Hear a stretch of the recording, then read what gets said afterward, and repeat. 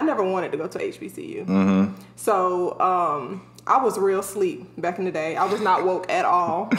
So I wanted to go to a PWI because mm-hmm. society conditions us to think that PWIs are better. Thank you for tuning in to sip on this with Adam Parris. About to get lit with these topics. Drop your thoughts in the comments. Thanks for the love and your time. Forget to like, comment, subscribe. Without further ado, I bring to you this for you to sip on. What's up, everybody, and welcome to another episode of Sip on This. We're just gonna jump right into it. This is episode 10.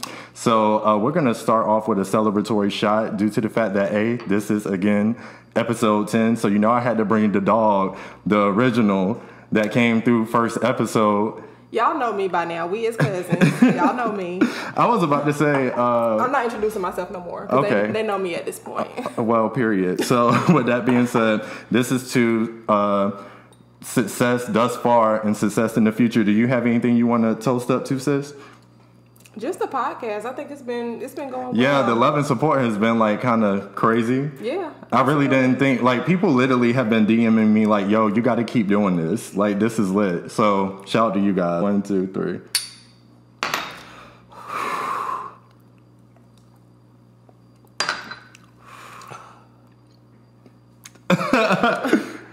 All right, so now to get into today's topic um, this was actually something that I saw on TikTok. That's why the idea came up for today's episode. And you'll, if you know who this is to my right, you'll know I, there was nobody else that needed to do today's episode. We have to tell the backstory. yeah, we'll tell the backstory, but I'm gonna tell you guys why um, I thought of the topic. Then we'll get to the backstory. So on TikTok, um, this girl was talking about how at her job, I can't remember why the topic came up, but they had a conversation with her manager, I think. Mm-hmm. And um, somehow word got out that people of color, um, more specifically, I'm pretty sure all people of color have to do this, but more specifically, black people, um, code switch. Mm-hmm. And she was just like, code switch? Like, why do you guys like first off, she had no idea what code switch meant mm-hmm. whatsoever, had no inkling to the meaning whatsoever.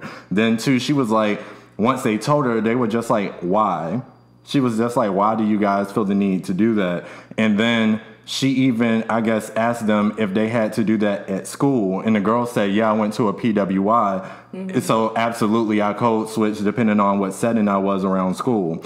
So I figured uh, we would talk about PWIs versus HBCUs, and you see clearly you see who went to the HBCU, and no, unfortunately, uh, I'm not gonna lie, I didn't even attempt to look for my uh, PWI apparel because most of my apparel was actually from like fall and winter stuff because I wear a mm-hmm. lot of sweatsuits. You know, something else that we'll probably dig into is the attire difference. Like how we dress going to class opposed to how you guys basically dress going to class. Mm-hmm. We dress down a lot, so I had a lot more sweatsuits and things of that nature. But anyway, um, so to kick things off, I wanted to start out by saying, why did you end up at a HBCU, and then what made you continue your education by still going back to another HBCU? Okay, so I'm gonna be real, real honest because. Oh wait, you know what, y'all? We're doing a lot. We gotta talk about your backstory first. Oh yes, yes, yes. Okay. so, um, 2019, we went to Costa Rica. It was a big group of us or mm-hmm. whatever, and the people that we hang around, I'm like basically the only person that went to a HBCU. Like everybody else went to PWIs. We had one other person. Who Devontae? Devontae yeah. okay. from the other episode he went to. So yeah, so I don't even know if he had a stance on this. I probably had a stance for the both of us during this incident. But so we somehow end up on a trip talking about PWIs and HBCUs. Mm-hmm. And when I tell you I was advocating and going hard for she my was HBCUs, triggered, big triggered. It was nobody, absolutely no one. Y'all not finna talk about HBCU. But for the record, nobody, nobody said, said. It was no, nobody. It was the tequila. That's what it was. Yo, it is so. We still talk about that to, this, day. To this day. like you went so like I you went- went pure ape shit. Let's just call a spade a spade. You snapped. They should put me on the roster at this point. Like, on- on the Honestly. payroll. I should, I should be on their payroll. You need to work for the admissions office or something. You need to work at the um. You know when they do orientation, you need to be the keynote I need speaker. to give the tours. I need to, yeah, yeah. Yeah, but anyway, so that was the background story as far as why anyone that knows her that was uh, especially on that trip is like, oh yeah, there's nobody else capable of speaking to this topic outside of the keynote speaker for HBCUs herself. So, I just, I felt like, I felt like I was outnumbered. The tequila had got a hold of me, and it was. but I don't even remember don't the topic being conversation brought up. Like I I don't. have no, I have no idea. but anyway, as you were, sis. So, so I'm gonna go ahead and be honest, um, because I feel like you can change your opinions and stuff with new information and maturity Mm. Right. or whatever. I never wanted to go to HBCU, so um, I was real sleep back in the day. I was not woke at all. So I wanted to go to a PWI because society conditions us to think that PWIs are better Right. or that they will bring you more success or whatever Right. the case may be. So 12th grade, I got accepted into Campbell University, which is a PWI. I decided I was going to go there. Um, I did the orientation and all that.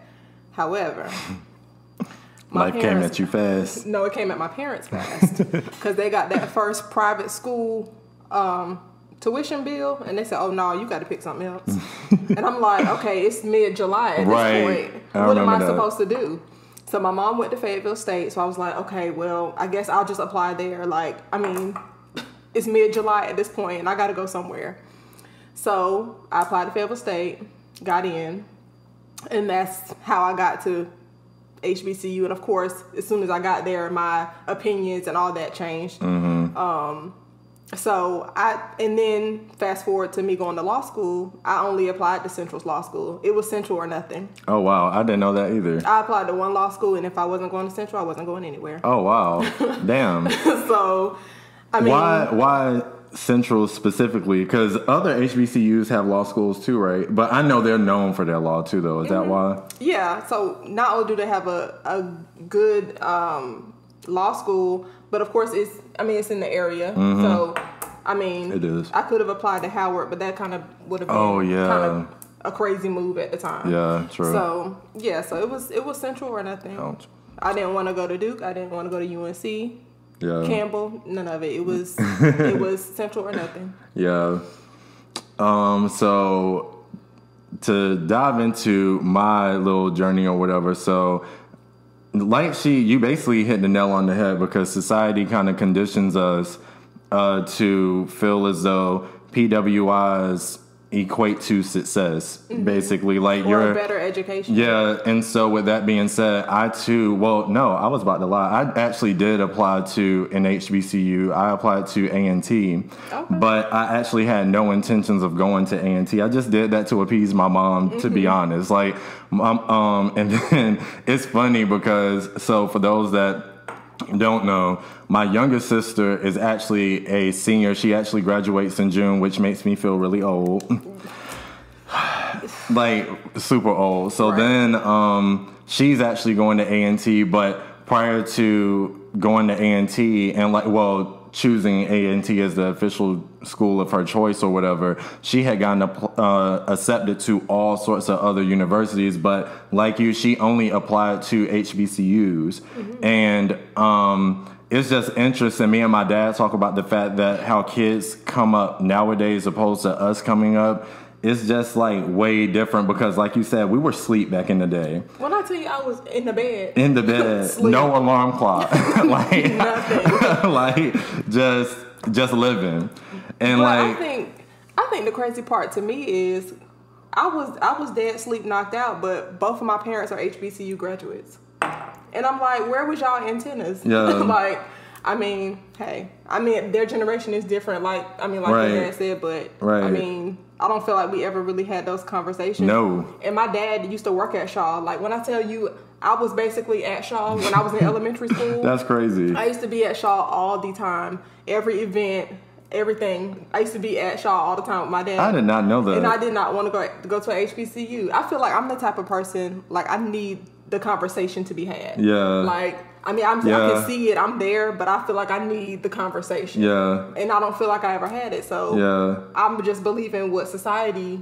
puts on us. yeah. And I'm just going with it. Yeah, and the only reason why, so again, to give a little bit more of my background, so neither one of my parents, um, well, my dad never attended college, and then my mom only went briefly, and again, due to the tuition, had to drop out. So, um, my my although my um, mom is from out of state or whatever, so a lot of my family though went to state. And so i was just like oh everyone else went to state. They say all these great things about it. Maybe i should just apply to state.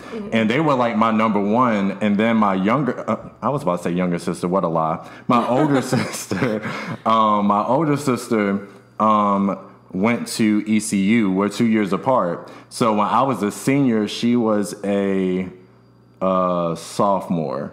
I think that's how that works. Yeah, she was a sophomore, and um, she was. Me and my sister have a lot of similarities, but a lot of differences at the time, uh, at the same time, because she is more like a uh, what's the word for it? Like I would actually go as far to say that she low key, well, used to have kind of like separation anxiety.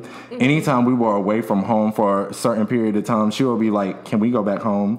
like for instance, like so, our family is um, divided between like down south and up north. So for part of the summers, I will always go to South Carolina for part of the summer and then come back and go to New York for the other part of the summer. And we would be in New York, and the rule was whenever you rise, uh, guys are ready to come back home, just call us and we'll come back up and get you. My sister will always be like, Adam, I want to go home. Brett, we've been here for three days.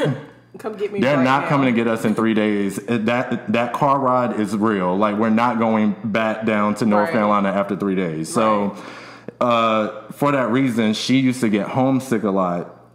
Even though she went to ECU, which is like an hour and like 15 minutes away. And so my parents were just like, you know, we feel like you're not giving you a chance to get the true college experience because you're always either coming back here or my dad's side of the family is closer to ECU. So when she wanted that taste of home, she just used to go visit, you know, the family on that side. But for me, I didn't care where I went. It- was known like I'm gonna be good wherever I go. I don't get homesick. So You don't uh, even like being at home. no, I hate being. oh my heavy on the hate. but but um I only applied to ECU because of her. She was just like, please apply. Like, um, I'll feel much better if you came down here with me and da da da da da. And I'm like, fine. So I got my mom telling me apply to A&T, my sister telling me to apply to ECU, and then I threw out NC State. And what happened was I had a black guidance counselor, right? My last two years in school, because for anyone else that knows me, I went to quite a few high schools. So the last two years I was in high school, I had a black guidance counselor, and he was like, look, he was like, I understand you want to go to state. He went to ECU. Mm-hmm. And he was like, I really feel like you'll like the experience there more, whatever, whatever. Granted, I'm being biased, but that's just my biased opinion, just to be real with you. So I'm like, okay, whatever. So then my mom actually used to work at state's uh, financial aid office. She actually used to be a supervisor. Right. So my mom was just like, "Oh, you'll get in the state, no problem, because of my GPA and my SAT score." She was like, "Oh, you're set." So my mom was like, "Just uh, uh, go ahead and do the early like application or early admission or whatever it's called. I can't remember. Sorry." So. Uh, I told my guidance counselor when I was about to apply, and he said no. He said because they want, although your stuff is solid, they want like the top of the top of the class, like the valedictorian type of mm-hmm. people to apply or whatever. And my mom was just like, just do it anyway. Well, I applied and it backfired. I didn't get in. Mm-hmm. And honestly, I was just like, how dare they? Like, do they not know They me? got a lot of nerve. But I feel like everything happens for a reason because Right. when I um, actually toured the school literally weeks before I got my letter saying I didn't make it in, me and your brother actually went to tour the school and both of us was like, this is the ghetto.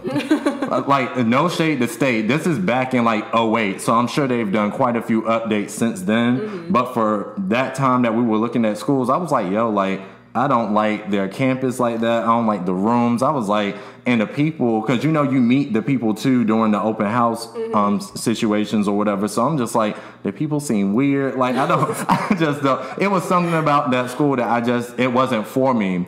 But a couple weeks later, I went and visited Green. Um, I was about to say Greenville. Greenville and ECU are two completely different places. Although ECU is in Greenville, and if you know, you know. So when I went to visit ECU, I was like, oh, this is lit. The rooms were nice. The people was lit. The food was lit. I was like, granted, I'm gonna get into that in a minute too, um, because that was a lot of smoke and mirrors, which we'll get into in a second. But still, I was like, I really felt like that was the spot for me, and I was like, I looked at my sister, and I was like. I don't understand why you're coming home so much because just for me visiting in the hours that I was here, I would never come home. Right. So I ended up clearly getting into ECU. That's how I ended up going. But yeah, so I didn't really get put onto the HBCU stuff until I was visiting you and my brother down there so often. And I was like, dang, it is lit down here. But but the funny thing is, when you went to ECU, I just knew that's where I was going. I was gonna go too, but Mm-hmm. I never I never applied because I think they had. um I think I didn't want to pay that application fee. I think That's that's, what, what. yeah, was. I remember that. I, so I you was were like, childish. right? Because you, by the time it was time for me to come, you had been there for what two years Yeah, two already. So I just, I just knew I was going to ECU. Yeah, and we I remember gonna go that. together. I remember that. But I was like, but that application fee. So I'm gonna go over here over to the free people. I'm gonna go over here to the free, and I'm gonna apply here. You know, make some shake over there. yeah. But yeah, I just knew I was going to ECU too. Yeah, I remember when. Um, I rem- it's funny to think back though, because I remember when you hit me up, you said, "So I'm not going to Campbell no more," and I was like, "Bro, school's starting in a couple weeks. What do you mean you're not going to Campbell anymore?" Right. You were just like, "Yeah, my parents got that bill," and was like, "No, ma'am, you gotta you gotta backscale a little bit. Choose uh, choose somewhere else." And I knew I was like, "Bro, where are you going?" And the thing is, because okay, back then I was on the fence about whether I wanted to go to law school. Mm-hmm. And Campbell has a, a good pre law program, Yeah. and they have a law school, so I felt like I was gonna go all the way through Yeah. if that's what I wanted to do. And my parents said, "Well, if you're not sure, no, we're not even gonna do it." They made the decision for you, Absolutely. basically. They said, "If you're not sure, we're not gonna do it." Luckily, I went through Yeah. Fayetteville State and through Central, so. Excuse me. But okay, so what do you feel like you gained from your experience at an HBCU that you feel like a PWI could never give you? It's just the community for me. The sense I of can see that. community. I guess um, I think I saw a post and it was just kind of like go to a HBCU. You have your whole life to be a minority. Like you got your whole Yeah, entire life to that be too. a minority. Yeah. So go somewhere where you are around people like you, where Mm-hmm. you can embrace. And granted, just because most and of course HBCUs have other ra- ethnicities and races as well, Mm-hmm. but just because everyone looks like you doesn't mean they have the same life experiences as you. Because i met so many different people that are not like me. We come from different backgrounds Mm-hmm. in different areas of life. Um, so i definitely think it's the community. Like um, of course last year homecoming was canceled. Mm-hmm. but 2019 i went back to homecoming after not going for five years. And i felt right at home. Like it was Mm-hmm. Like dang like this was the best time of my life Yeah. honestly. Um, and that's what I gained from Fayetteville State. I think um, at Fayetteville State, it was really the community, like the family, like the people that I met there Mm-hmm. are going to be in my wedding. Like these, those are my folks. Yeah. Um, but at Central, I think I gained. Um, I, I don't know how to explain it, but okay, I worked for a black-owned law firm, and all of the attorneys, including me, went to Central. Oh, and wow. so I find that just the connection of being a Central Law graduate, like people are willing to help. They're like, oh, Mm-hmm. okay. Like, oh, I'll put your name through here. Oh, she went to Central. Like, I, I don't know if y'all have that or not. Cause I, I mean, look at how many people come through the PWIs and stuff like that. They're like, oh, you went to, okay, go Pirates or Mm-hmm. Right. whatever. But I feel like, like Central, like we Yeah. we be riding for our folks for real. um, like I even interned for a judge. Um, I interned for a judge while I was in law school, and she went to Central, and she said that she only takes interns from Central, and she's Oh, gonna wow. she gonna keep doing it until somebody check her on it.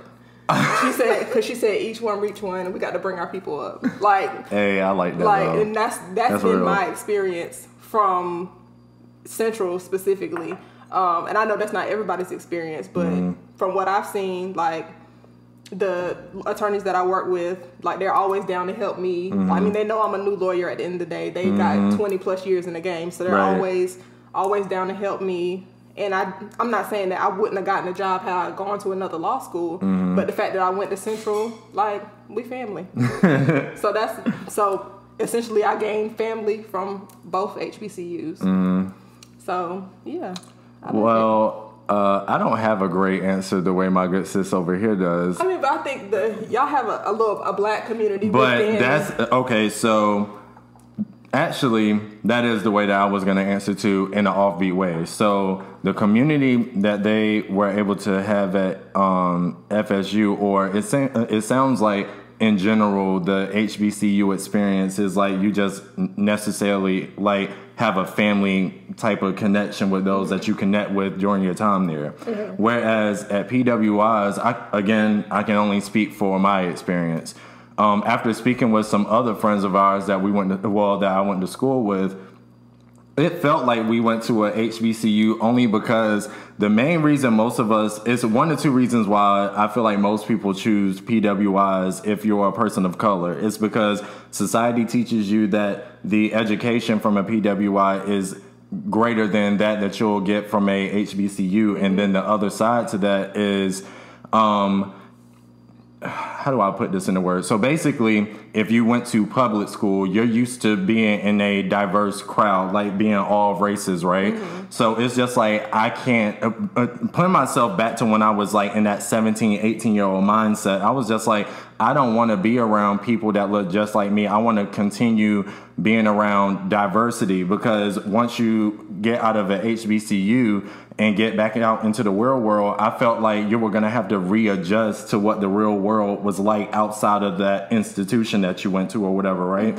But what I realized when I actually went to a PWI is I didn't really mingle with other races. I stick to my people. Exactly. So I was just like, I remember, and this is so crazy. So again, uh, when I first went to ECU, um, when it was time to select your dorms, my mom recommended, she was like, you know, maybe you should do this. I cannot remember the technical term for it, but I think it was like first year experience. Like it was only a freshman, um, like program or whatever, and it was only two dorms on campus that did it. Um, for those that um, you know, know anything about ECU. So the campus is divided into three sections. It's West End, Central Campus, and um, College Hill, which is just termed the Hill when you actually go there. So like one dorm is on um, the west end side of campus, and the other dorm that participates in the program is on the hill. So when I talked to my sister to see if she did it, she was like, "No, I didn't do that," or whatever, and like I adjusted just fine or whatever. And my mom was like, "Well, you can't base your experience off of your sisters. You need to get out there and do something different, whatever, whatever." Again. Pulling my arm, telling me to do something different. So I was like, fine, my gosh, like I'll do it. When I tell you I hated it, I didn't even last like two months. So what exactly was it? What So what it is is like basically the first year experience is like you do they have like a lot of different programs that you can sign up for and attend and to actually stay like um continue to stay in the dorm uh they take attendance I believe and they make sure that you have to attend so many programs within a certain amount of time. I can't remember if it was like a weekly basis or like a monthly basis. I just knew so it's funny too because growing up, my older sister was always like, "You're the rebellious one out of all of us, or whatever." And I'm like, I feel like you're the rebellious one. I can honestly say when I got to college, that rebellious side jumped out because I was like, I don't want to feel obligated to have to attend programs on top of adjusting to like a new school schedule mm-hmm. and like all that stuff. I was just like. Why did I let my mom talk me into this? like, I mean, no harm, no shame, mom, if you watch this. But I was just like, I really shouldn't have done that. But I feel like another reason why my experience wasn't the greatest with the first year thing is because of the dorm I stayed in. So I'm gonna tell you the difference between staying on the side of campus that I stayed on initially versus where I ended up. So again, like I said, where the other dorm was was on the hill. Well, as if uh, clearly it's called College Hill, and we nicknamed it the Hill because I mean, honestly, black people gave it that name. They gave it that nickname or whatever. They just cut it in half. No, we're not gonna say I say on College Hill. No, I say on the Hill. So when my sister went to school, she was like, um, "You need to stay on the Hill." Honestly, that's where all the black people and like that's where it's more diverse because all the other parts of campus is pretty much all white people. And she was like, and if you're anything like me, it's gonna be an adjustment that you're not willing to adjust to. And I'm just like, girl, whatever. Like I can I can get along with just about anybody. So I thought I got to that um, dorm and when I tell you it was just it was just so one incident, one of the first incidents that happened while I was there. So actually, backstory. So I didn't know anybody to room with prior to going. Mm-hmm. So I was just like, all right, I'm just rolling the dice. Whoever I get, I get. And hopefully we get along. Well, the dude that was assigned to be my roommate was actually from Long Island, which is where my family is from. So I'm like, oh, like something in common to build off of, like, cool. Well, we met and I was like, okay, he seems like okay. You can tell he was a little socially awkward. Nothing I can't get past. Cool. Well, then outside of that, the people in that dorm were nuts. like, bruh. So these people he was cool with at the time. One of the first nights we were in the dorm, it had to be one of the first weekends we were there. It was like three in the morning. Both of us are knocked out in the bed asleep. And all of a sudden we hear uh, these kids coming down the hallway and they're arguing. So it got so bad that they started throwing hands. and I wake up and like the way that our room was uh, set up, like we had the big roll closets, like the rollaway closets, like one for each of us. Mine was up against the wall, and I felt like the fight happened on the opposite side of the wall, and they was throwing hands to the point that I thought they were gonna fall through the wall into my closet and be in the bed with me. and my nosy ass at this point, I done got up to look through the peek hole, and it's legit my roommates, people. I'm like, yo, your people out here beating each other ass. Like, what the hell? And he's like, yeah, that's not my business. like, he, he was just like, yeah, that's not my scene. I'm going back to sleep. so they're fighting, and then the next morning I see them at bre- at breakfast. Like, then shit happened.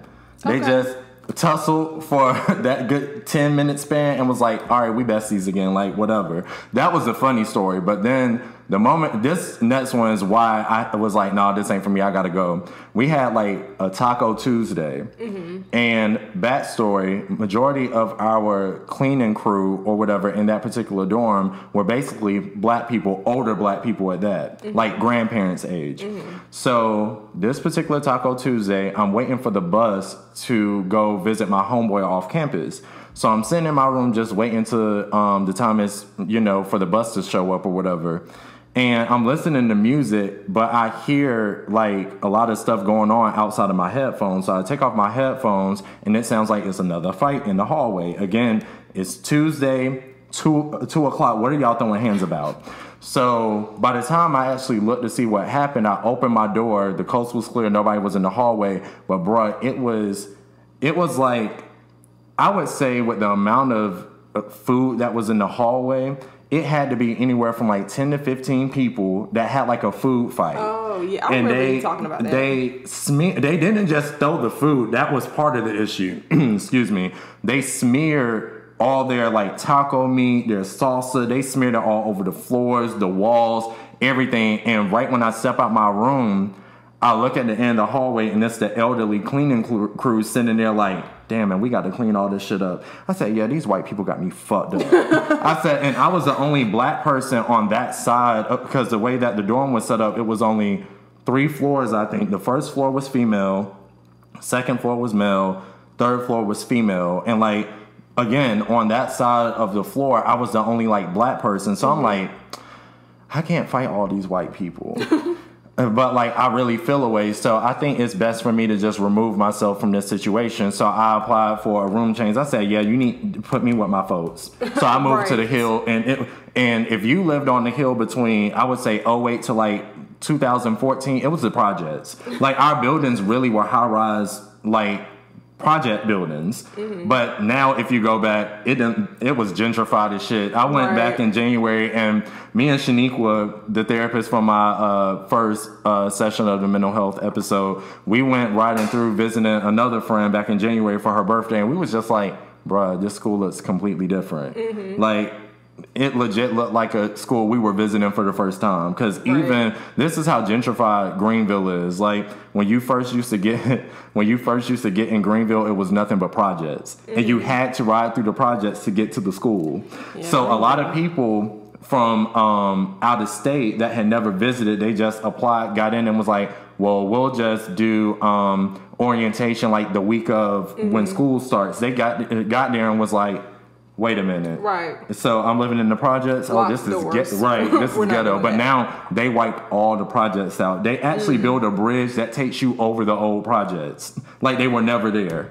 It's crazy. But anyway, back to my experience. So like, I really only I don't uh, thinking back. I might as well have went to a HBCU because I didn't really associate with too many other people outside of my own race. You did. Not that I not that I wasn't open to it.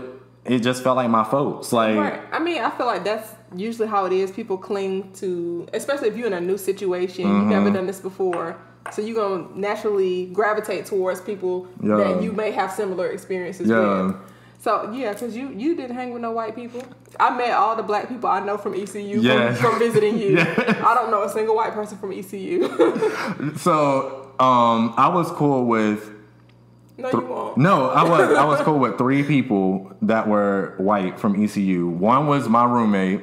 Never I, heard of I- these folks. I talked about him briefly in one of my previous episodes because, th- and I'm telling you, freshman year I got slapped in the face with so many new experiences or whatever. Because for one, like having to live with someone opposite of your race, and then living on the side of campus that was predominantly white, and then going to a side of campus that was more diverse, but my roommate was white and he was gay. And I was just like, okay, wait a minute. Like, this is a lot having to deal with this. But honestly, he was my, one of my favorite roommates I had. Like, mm-hmm. we never had, and like, what I appreciated most out of him though, he really, like, when I say, like, he really had to, like, I would say he kind of like told me about myself without telling me about myself mm-hmm. because like what I respect about him is uh, right after we met, I was just like, damn, like clearly I'm not so comfortable living with someone, you know, gay, like whatever, whatever. And he texted me and he was like, so look, evidently you're straight. I can tell. He was like, uh, but I don't know what stereotypes you hear about gay people. He was just like, but just because I'm gay does not mean I want you. He was just like, just like you demand respect, I demand respect as well. And this is how I feel like we need to do to come together to like get along for the sake of living together. And I appreciated him for that conversation because Yeah. had he not just told me what the situation was, we probably would have never talked or eventually had the relationship that we had or whatever. Because like when I tell you this dude was hilarious, like I have so many stories with this dude. Like he was literally like just a hot damn mess, but in a good way. So like honestly, living with him also changed my perspective of like the um the gay community too. Honestly, Yeah. So like because I can actually admit that like just again growing up, especially being in our culture or whatever, you're taught you know certain things about gay people and at uh, to I don't want to say to the extent that like you need to avoid them, but it was also kind of like okay, I can't be seen with this person or affiliate with them because I don't know what that's gonna like do for my reputation type of Yeah. like stupid shit. Yeah. But it was him I was cool with, and then my homegirl, she actually stayed on the same side of campus as me when I initially stayed there, but she eventually moved to the other side of campus. Actually, she moved before I did. Mm-hmm. And the reason why she left was because she had a roommate, this white girl that played soccer, cool as fuck. Mm-hmm. She blindsided my homegirl one day and was like, I'm sorry to do this to you, but my homegirl's got an apartment, I'm out. And oh. their room, when I say their room, they had the best room out of everyone I ever met on campus. Their room was on the 10th floor out of 10 stories, mm-hmm. and it was huge. It was like a corner room. Mm-hmm. Their room was so huge. It was literally the size of my whole downstairs of my house. It was huge. Mm-hmm. And they was just like, my homegirl was like, I don't want to be put with no random person because that's my bitch, so I gotta go. Right. And she ended up rooming with um, uh, someone else I ended up being real cool with, but of course they were black. But um, it was her and gosh, who was the third white person? This is See, so that, awkward. that's why I just told y'all. This is so he awkward. Wait, no, who was the third white person? He don't know these people. Uh, so it was my roommate. don't do that. My roommate, my homegirl's roommate, and um, It was somebody else's roommate. It'll come back to you later in life It will. because you don't know these people. I don't. But um, just to to piggyback on what you were saying, like um, about your roommate. So Mm-hmm. I had I ended up having two gay roommates. Mm-hmm. Um, and Wait, I only knew about one. I don't think you ever met my very first roommate. We um we didn't live together long. Not for any reason. They end up moving our um dorm or whatever. Oh. But um Uh, Wait, I'm sorry. I can't just scale over what you just said. They moved your dorm. Child, yeah. So we moved in in August. By November we was getting moved. So I didn't live with her for that long. But we still cool or whatever.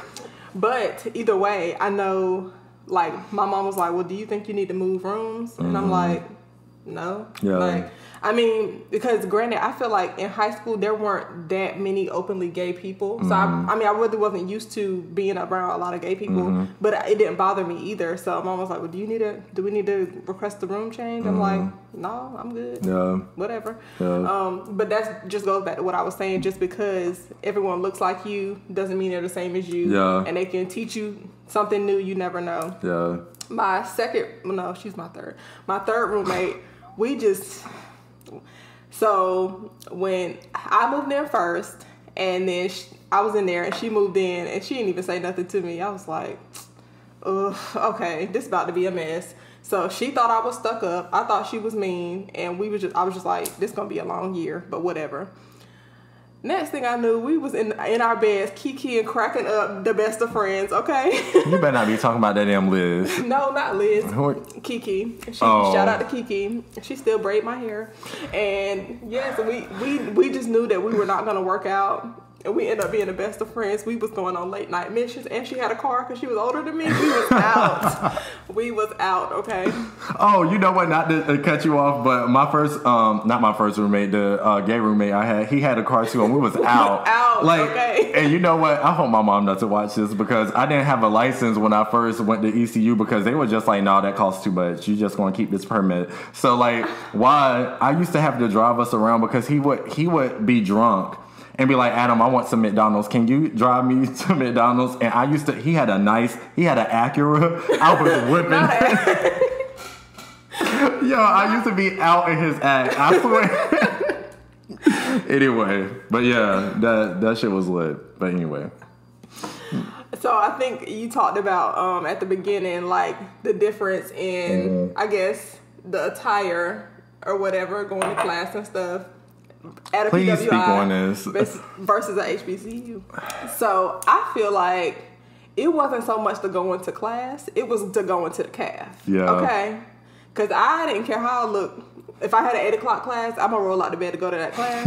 but before I go to that calf for lunch, I'm you going be- to show up I'm- and show out? Okay. Cause I'm finna walk through and everybody finna see me walking in this calf, okay? And don't let it be fried chicken Wednesday. Yo.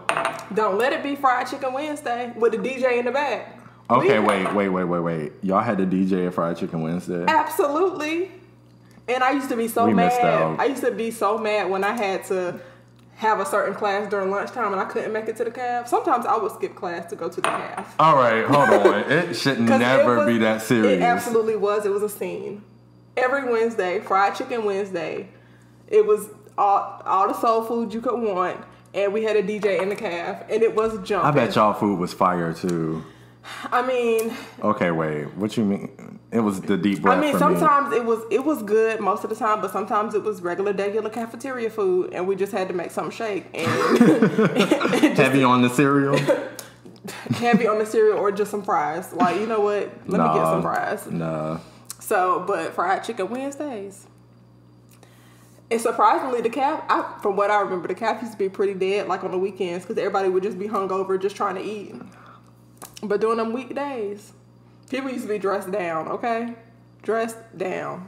Yeah, not so much us PWI people. We were the take us as we come type of people. You're lucky we're here today.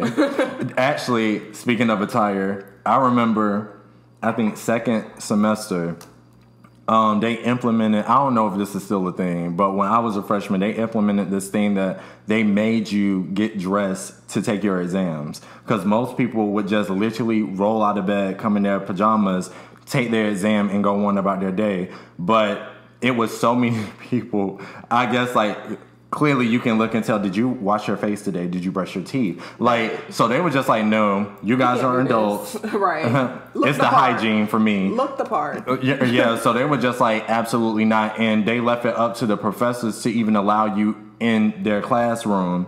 If your attire wasn't up to par, they would kick you out for your final and be like, "No, you're not taking this until um, you get dressed, and you need to be back by this time in order to even take it." I'm telling you, people changed up their wardrobe real quick. Wow. But so clearly, we didn't give a damn. Take us as we were. Like we're here for not even a good time, not a long time. We're just here. but something else that uh, I learned going to HBCU was just the way y'all campus was set up. Maybe just FSU specifically, but I remember the first time y'all came down to visit us at ECU. Remember, it was for Halloween. Yeah. So for anyone that does not know, anybody in North Carolina that lived here between again, I would say as far back as like 04 to 2014, Halloween at ECU was serious. It was a big deal. It was a major deal. A major I deal. had no, and my sister tried to brief me. She was like, "I'm letting you know, you need to have your stuff in line when Halloween comes around." I'm like, "What does that even mean?" Right. And she's like, "Oh, you'll find out real quick. You'll adapt real quick." Man, my first Halloween was so chaotic. I didn't realize how serious it was until I was off campus with my homeboy, and we was like, "Let's just go to campus to see what the hype is all about." We got to the bus stop. we didn't have no bus It was stops. just I was gonna get there. it was only two of us at the bus stop, and then before I knew it, yo, I blinked. It had to be at least hundred plus heads at the bus stop, and clearly all of us are not fitting on the bus. Right. So while the bus came to pick us up, it didn't even stop at our actual stop. It parked down the street and opened the doors. So it was first come, first serve. You had to sprint. We were knees to chest. Oh, and that year it had to be a smooth 20 degrees outside.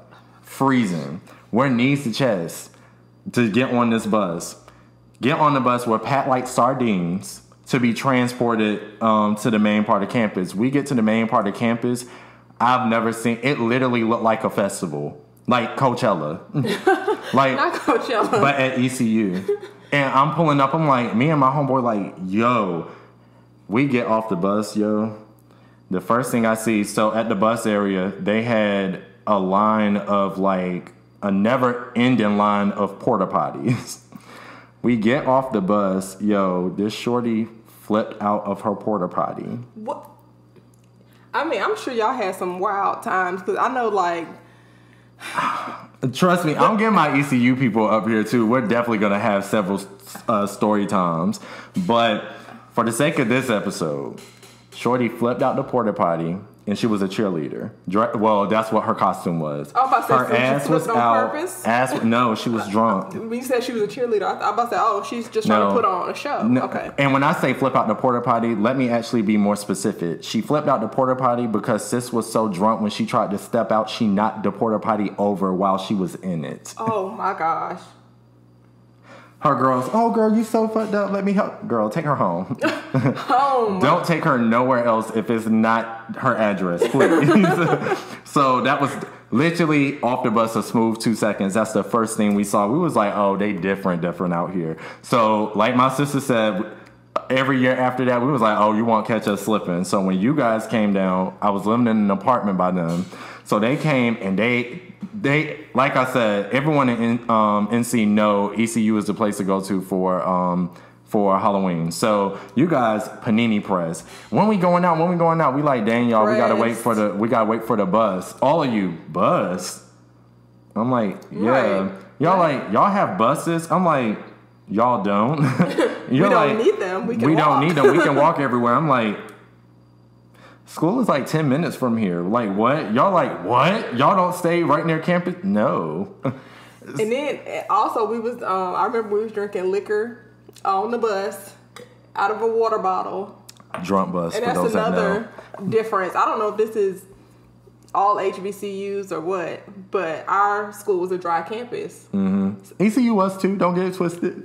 Oh wow, Yeah. that's crazy. I thought we were just allowed to do that. You know damn well we could not drink on campus and we weren't even 21. that's crazy. So all are all schools dry campuses? I'm pretty sure. Oh wow.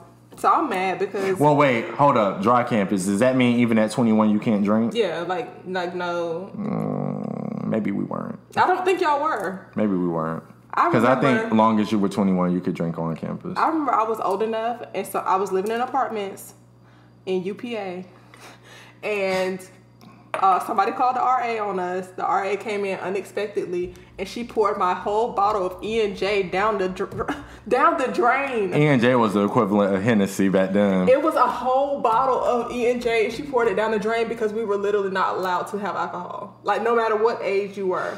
When I tell you, I was big mad. Actually, let's dial back. Another difference that she literally just came out and said, I wish ECU would give us RAs. I wish. So, on uh, disclaimer on campus, yes, you definitely have RAs. Off campus, absolutely not. So, the first time I stayed with my brother, um, and we had that kickback or whatever, his RA was cool though. So like he came and was drinking with us, but I'm sitting there like my brother then was like, "Yeah, don't be alarmed, our RA is coming," but he's cool. I'm like, "RA, uh, I'm sorry, what?" What does that stand for?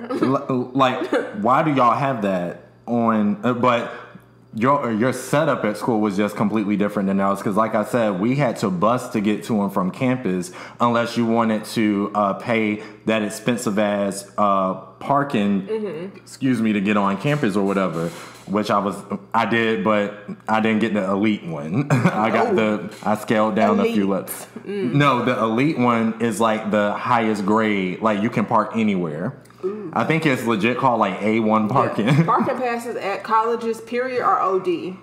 like like we have money. We're all broke as hell. I think when I was in law school, I had to pay like three hundred dollars a year to Yeah, park. it to sound park about Central. right. Sound about right. I have to come here. But the thing is, even with your parking pass, you need to be careful because depending on Where- your level of Yeah. parking, depending on at what times you can park in certain areas. Do you know how many tickets I got? you know how many tickets I ain't paid. Okay, now see, ECU could never because they would definitely hold your degree if you owe. But see, that's the thing. See, I left and came back, so somehow that got wiped clean out. But whatever. yeah. So you know what? I was not paying them parking tickets. I mean, granted, they were about, if I recall correctly, they were about thirty bucks, but that's thirty more dollars than what I had because I was Wait. broke. Uh, I was the brokest form of broke. But when you have multiple, that adds up, and I'm not paying it. But speaking of broke, I think PWIs, I'm triggered, so let's not say too much because I w- when I say I was broke, we all were broke, but we had we had money for liquor somehow. how? Actually, I could tell you how. So again, it it really pays off to have older siblings attending the same school as you. So my sister, I used to be like, all right, so. And before I went to college, I never really drank like that. Like I tasted beer and stuff like that, but I never had like hardcore liquor. Right, right. So like my sister, I'm like, yo, me and my people want to uh, turn up tonight. Like, what do you suggest? She's like, oh, well, this is what me and my folks drink. Da da da da da. I'm like, well, how much would that cost? What was it? Oh my god! Tell the people what it was. Uh, okay, so I think my sister recommended ice. Do you you remember what ice is? We had it at that kickback. That's another story time. It was the peppermint melt joints. Remember Oh at my that? God. So ice. It tastes like peppermint. And then uh, what else did we get? We actually got like low key name brand stuff though. But did Look- y'all oh, wait, I bottom? think we got like 99 bananas, Oh my gosh! 99 apples.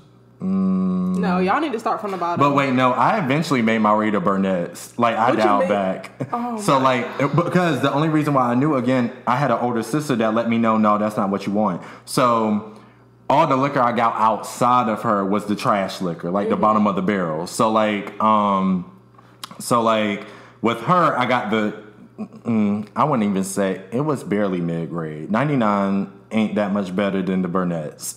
so my sister is so funny because once we graduated, she was like talking about me and my crew to like her group of friends or whatever, and she was like, uh, like we used to between myself and like the people I was cool with at the time, we used to put our little pennies together. And when she used to pull up, I'm like, "This is it," and it was like a wad of money. And she's Right. like, "Y'all, what are why y'all?" am I paying all one dollar bills? And- right, and she's just like, she's just like, "What do you want?" And I'm like, "Buy whatever I can get with it." And she'll come back with like two, three bottles It's of giving the me cheap. crackhead vibes. Buy whatever you can get with this. it's giving me crackhead. and then eventually, you know, I really dialed back because freshman year was the 99 bananas no, and no, all no, that no, stuff. no. But Freshman then, year, you supposed to start with Four Lokos. but no, but see, I had Four Lokos like sophomore year. oh my gosh, yeah, freshman year, you're supposed to start with Four Lokos and pass out. That's that's. It's, it's like a freshman rite of passage. You have Mm-hmm. to start with the Four Lokos. You have to drink the whole tall can, and you have to pass out. Yeah. It's it's what you have to Four do. locos basically turned into. Remember when people were strung up on uh, strawberries? Yeah. Oh my. And we were actually out of college by then, so what was our We really excuse? were. We had no excuse. We had no excuse. Drunk floozies, but that's, an, that's another story for Heavy on the day. floozies. We was definitely floozies for But sure. but um, dang, we're actually almost up on our time or whatever. So That's wow. wow, walk down Okay. memory lane. Right. Okay. Because I, I got a few more things to get off my chest if we Do it. can. We but, got a little time. But like, um, so uh, something I will say with the HBU uh, HBCU experience though, coming from Greenville and coming down to Fayetteville. I was like, me and all of our friends from ECU that used Mm-hmm. to travel down there from time to time, we used to be like, yo, we could never go there. We would be doing everything but going to class. Because like the way that y'all party, like clearly we partied too, but I'm just like everybody we met, they literally was just like you instantly became family with them, mm-hmm. like from day one. As long as you had somebody to vouch for you, and especially like with y'all people like going through you, my brother, and um Donzel, it was like, mm-hmm. oh, these y'all folks, say less, come get this Come, bottle. come on in. Uh, oh, okay. If it was that easy, oh, okay. And just, I feel like my whole college career would have been downhill from there. like, I mean, it was definitely downhill, but the priorities were together, luckily. Mm-hmm. Because, I mean, looking back, I don't know how I used to stay up all night to my 8 o'clock class, go to class, and then go to sleep afterwards. But the Like, thing that's is, crazy. but the thing is, I feel like um, on the lowest of keys, I feel like I've always had like insomnia as a kid because I've always been a night owl. So Mm-hmm. I would stay up. I still till this day stay up to like three or four in the morning, and then turn around and get up first thing in the morning. Granted, now that I'm getting older, it's beating me up, and I need to learn the bedtime and stick to it. But back then, oh, it was nothing. Yeah. Nothing. And then, um, but something else about the um, the food stuff, right? Mm-hmm. So, granted, we too had fried chicken Wednesday, Y'all don't even deserve it. What? but it was fire. Y'all had fried chicken Wednesday? I feel like actually all schools. Y'all do. got it from us. Y'all stole it. Stolen. See, this is why she's a keynote speaker for all. It's, it, Yeah, y'all stole it. Y'all ain't think of that. Listen, Fried Chicken Wednesday was the day at either calf had the best food. You said did- either calf? Either calf Oh, because y'all we had. had more. wait, Y'all had two calves, so that's y'all, crazy. y'all had one. We had one. But speaking of calves, which party, which um calf? Okay, okay. I forgot all about this. That party So in the calf was. I don't even know why y'all came down that weekend. To be clear, so one weekend our FSU fam came up to ECU, and we had a party in our calf. That was actually the black side of campus, which is why be. this makes sense. It it was on the hill. If you know, you know. It was in Ty Don- Dining Hall. So I think we did have a legit DJ that night too. Yeah. It was legit. Like some group um, got approved to throw a party in the calf. So like when I say that party went up, it was It's up and it was stuck. stuck. And then they had still, you know how you have like the little drink machines on. The, they left them on. We was in there living, okay. Fountain drinks on everybody. Yo, you just took me down memory lane because our Kool Aid was fire. we was in there The. Kool Aid was fire at school. sweating as hard as we could and going to get a drink from the little the little fountain thing. What, what a time So wait a minute. okay? Actually, let me dial back to speaking of that same calf. So I think like most schools during finals week, we would have midnight breakfast. Mm-hmm, yeah. So one midnight breakfast, my raggedy ass friends turned it out. They brought, they legit brought their stereo, and I'll it. never forget. Jeremih had just came out with Birthday Sex. we are old, man. When I tell y'all, my homegirls was in there DJing the shit out this party, and it was supposed to be like a like a study hall, but you just ate while you yeah, study. yeah, we had that too. Nah, we did everything but study in there. That was the most It was a- counterproductive thing they could have ever thought of. Cause what? That didn't even make no sense. No, it does make sense. We It was just loud. Nobody was studying. I felt like for us, it was for you to take a break from studying so you could eat. Like if you up all night, you could have an option to come eat. Cause we wasn't studying in there. It was loud. Everybody had on pajamas and we talking loud. yeah, it was a pajama jam. Yeah. yeah, that's what it was. And then, you know, we tried to incorporate some things for our good HBCU people. We tried to have a pre dawn. Uh, It got shut down very quickly. Everyone got so something that they're notorious to do back at ECU. They will pepper spray with no hesitation. oh, if your tone got a little carry, oh, you was maced. Mm. And for anybody that I'm triggered by telling this story.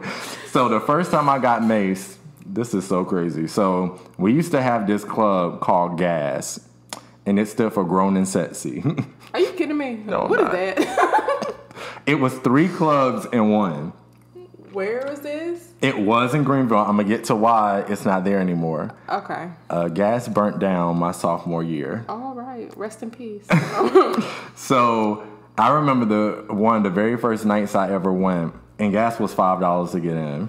The club used to, it used You to be five dollars to get somewhere back in the day. Five Oh and have and live your best life for five dollars. Yeah. You can never today. Well, you pay twenty to stand there and look cute.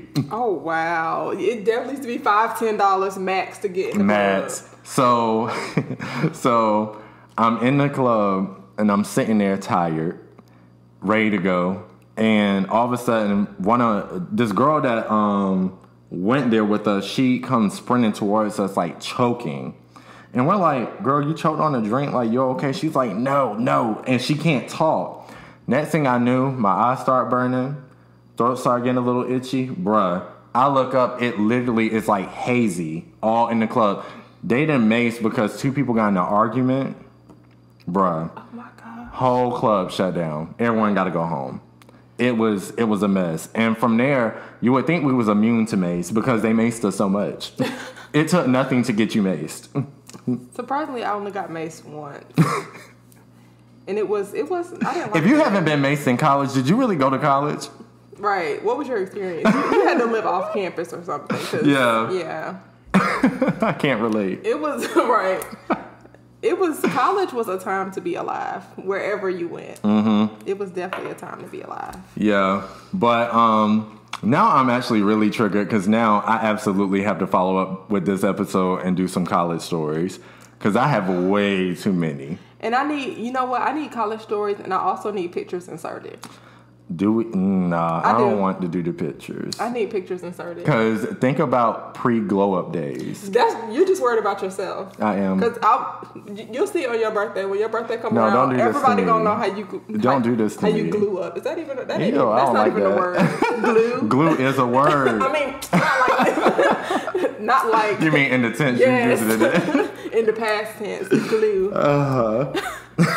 but yes, definitely college stories because, like I said, Hold the pictures if if I have anything to do with them, please. Oh my god, We don't look like what we've been through, And thank God. right? Thank God. But what, was the moral of our story? Uh, PWIs versus we got so sidetracked. We we completely got sidetracked, and I But these are our experiences. So Yes, these and, are our and like I said, if you're really tuning in, you'll realize they're not too far off just because of, like of us still hanging with our folks, but just at the Right. PWI. So my so I will say this. If you're thinking, oh, I want to go to a PWI because of the diversity and X, Y, and Z. I feel like that depends on the person. If you're someone that's open to meet, mixing and mingling with all sorts of different people, cool. But if you're someone that's just gonna stick with your own people that you're typically used to, this ain't the place for you. Right. You might as well go to a HBCU. You might as well. And honestly, like she said, I feel like I can attest to the fact that I feel like people that went to HBCUs have their own uh, sense of community and uplifting. Whereas, yeah, I have this fancy degree, but there, uh, it's so like it's so many of us out here that I'm not special. Right. They don't give a damn about me. okay, you went to ECU just Yeah. like all the other thousands of folks. Yeah, I show up. I'm like, oh yeah, I went to ECU. They're like, I went to UNC. So I'm like, oh, so fuck me Okay, then. right. Back to the interview question. right. like they don't care. Right. But yeah, I mean, and I also think, of course, they have pushed this narrative that you'll get a better education at a PWI because I mean, HBCUs are underfunded, yeah. obviously because systematic racism and all that good Yeah. stuff. Aren't um I think aren't all of them private except for don't quote me on this, but I think A and T is part of UNC system, isn't it? I think that's what my mom was telling me I know recently. Fayetteville is. Oh, really? State is. Yeah. Okay. Most. I mean, I don't know how many. Or I know Shaw is private. I think I St. think August, St. August pro- private yeah. Too, but I think majority of them are public. Um, but yeah, I mean they're underfunded, overlooked, all that good Absolutely. stuff. So even, even, when it comes to not to cut you off, even when it comes to like scholarships and stuff, that's why if Mm-hmm. you see on the shade room, everyone's like, "You guys do know it's more schools out here outside of Howard, Spelman, Morehouse. Like, do your research." it's a lot, and even I'm not even a big sports fan or anything like that, but I know I guess they did the NBA draft not too long ago. Oh, yeah. and they were saying how nobody from HBCU got picked. Mm-hmm. Um, obviously, but I know maybe this was like last year or so. I think uh uh heavy draft pick, whatever they call it, I don't know. Hmm. Um, he was saying he was going to take his talents to a HBCU Yeah. because that's what we need to put back in our in our Yeah. schools and not go to U, the UNCs and the all those. Bring your talents back. Yeah, but Back the, to the home team. the piggyback off of that too, though, it's actually a lot of HBCUs that like the reputation that they have is kind of overlooked because, like you said, Central is known for its law school, but um, something that I learned back when I was thinking I wanted to be a dentist. Uh, I wanted to go to Howard because Howard is like one of the top dental schools in the country. Mm-hmm. And like when I learned that, I was just like, wait, what? Like Howard, the Howard University? And it's like, yes. And you know, I learned that from again people in our own community that, that was just like, don't overlook the HBCUs because like home is where it's at. Right. So yeah, that's my advice for any of you rising seniors that's about to you know go off into college. Don't overlook your HBCUs. Right, or or even people that are going back to school, considering going back to school, you can you Mm-hmm. can still very much so get a good education at a Mm-hmm. HBCU. And um, I was saying this during my HBCU rant in Costa Rica. that I mean, I went to HBCU for law school, and I sat and I took the same bar exam as people that went to Harvard. Mm-hmm. I was and- waiting for you to say and this. Yale and all those other places, and I passed it on the first time like just because it's a HBCU doesn't mean that you're not going to get a good education. Mm-hmm. It doesn't mean that you won't have the resources that you need. Is everything perfect? Absolutely not, because we got our complaints too. PWIs aren't either. Don't get it twisted. Right. Everybody got their complaints, but don't overlook the HBCUs because of how society try to brainwash Right. us. And that's that. And that's that on that. on that. on that that part. but uh, now we're officially at our time. This was actually like pretty lit, Time went by really fast. really fast. Because, like I said, I absolutely have to do a follow up to this episode. Maybe not comparing the two, but I absolutely at this point got to pull in my folks to talk about their college experiences. Because college, college absolutely was the best time of my life. At- like, I just want those days back without the class. exactly. It's it was the broke fun for me. it was. It was the carefree for me. It was the no bills for me. like, I, no, I had bills. oh wow, that's crazy. Um, like because you're forgetting at PWIs those can't those uh, apartments you absolutely paid for those. Yeah, well, ours was across the street. but again, it was low. It was low income housing though, so my rent was three forty five a month. I wish. What? Oh, I would. Yeah, for a four bedroom though. Think about it though. Three forty five. I would be. But no, see, you're thinking about it the wrong way because it's for a four bedroom, four bathroom. three forty five each. Oh wow. Yeah. Okay, And then you have overages because they give you a certain amount, like for utilities, and if you go over it, you divide that amount amongst the four of you. Oh no. So they be jipping. They definitely jip you because, like, you know, when we have breaks, for instance, like winter break, you're home for a month. Mm-hmm. We'll come home and be hit with a two hundred dollar overage charge. How nobody was here. Right. That heat should have been off. Off. our our um again because we say in the projects there was always something wrong with our stuff. So our AC broke damn near every month. Oh my gosh, I know it was hot, Lord. It was ghetto. But anyway, I'm gonna go ahead and close out tonight's episode. I really truly hope, especially with this being the 10th episode, I hope you guys were really entertained with our raggedy stories from a PWI and HBCU standpoint. Uh, for those of you again that could be tuning in, um, you know, continuing your education on the college again, don't negate out your fellow HBCUs.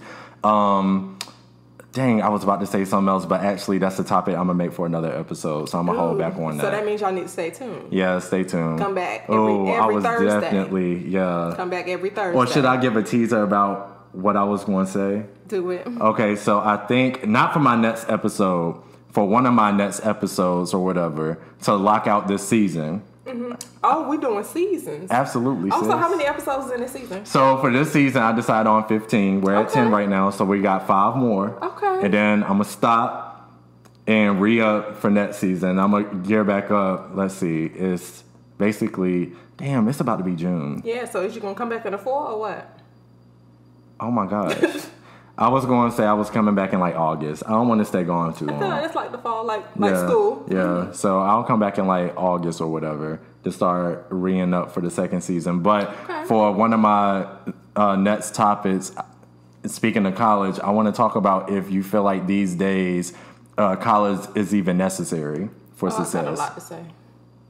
Hey. Well, if you want that episode, just say that. I, I I have a lot to say. Okay, well, clearly you'll see Martecia back within these next five episodes I have coming up. Because my student loan debt is between the Lord and Joseph Robinette Biden. and that's that. You know what? Let's go ahead and close this out because anytime I think we're getting close to an end, somebody gets triggered and we continue down the path, that should not be explored this year. so we're going to go ahead and close out tonight's episode. I hope you, uh, again, thank you guys for tuning in. Uh, especially if you're new, don't forget to like, comment, subscribe to my channel. And I'm going to put my good Esquire's information down, in your favorite Esquire's information down in the link um, in the description below. And uh, wait one second. Is there anything else you want to give to people before you leave outside of your student loan debt? No, I'm I'm good. I'm she's good. given everything she's had to offer at this point. That's all I have. okay. Well, with that being said, thank you guys for tuning in. Until next week, peace. We out.